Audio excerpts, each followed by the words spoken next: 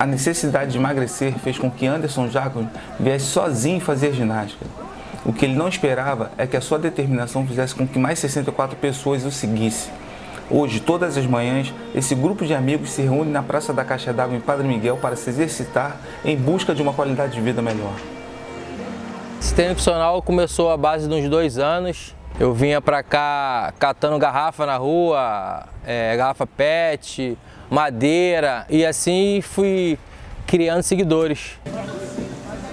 Comecei aqui com, com Chaguinha, que é o nosso instrutor aqui. E foi chegando as pessoas, um foi chamando o outro, as pessoas chegavam aqui na praça, viam o projeto, gostavam do projeto, e um foi chamando o outro e a gente começou. Para mim representa a qualidade de vida.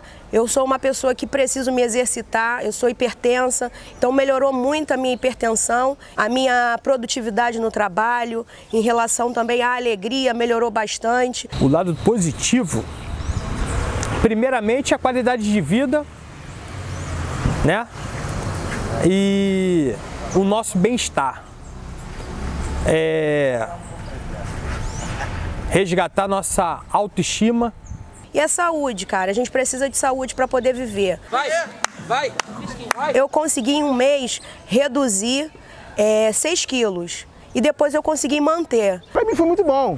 Começando tal vida sedentária, comendo de tudo. Então hoje, depois da que eu comecei a fazer o projeto, melhorou tudo.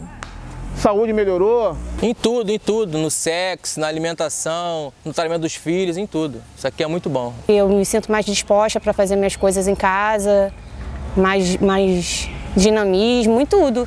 A galera é muito, um incentiva o outro, é muito legal. Acabou não. Acabou o tempo não, vambora. Três minutos.